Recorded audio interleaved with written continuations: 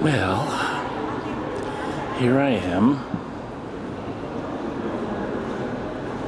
As you can see, the traffic goes right underneath the building, through the building, as a matter of fact. My apartment is about, well, if you count that as one block to the other wing of the palace, my apartment is about two more blocks away beyond there. It's quite extraordinary, really. All of these wings of the palace. And then, of course, the grand gallery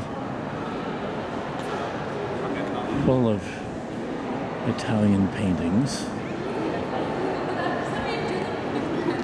Quite extraordinary.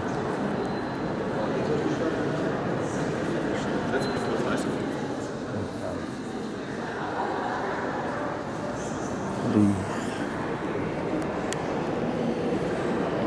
third day I've come here now.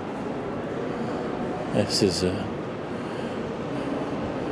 wing I've looked at from back up there.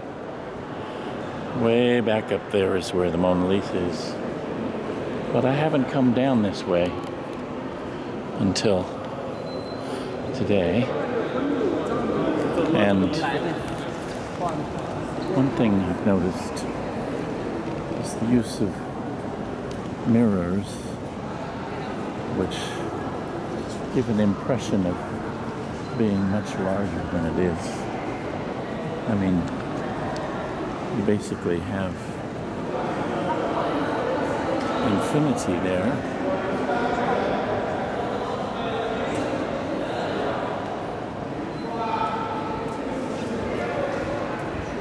If you like, an infinity of Daniel holding up the camera.